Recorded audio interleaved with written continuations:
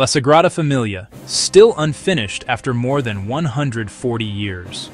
Construction began in 1882, but was truly transformed when Antoni Gaudi took over. He was inspired by nature, believing straight lines belong to humans and curves belong to God. The structure uses hyperboloids, paraboloids, and tree-like columns that branch like a forest. Its towers will reach 566 feet, making it the world's tallest church. Inside, Gaudi calculated light angles so sunrise and sunset ignite the basilica in gold and blue. During the Spanish Civil War, many of Gaudi's original plans were destroyed. Modern architects reconstructed his work using surviving drawings and 3D modeling, enabled by his ahead-of-his-time geometry.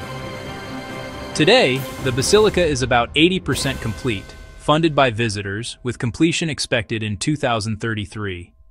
La Sagrada Familia is a living masterpiece, designed by a man who knew he'd never see it finished, but built it for generations he would never meet.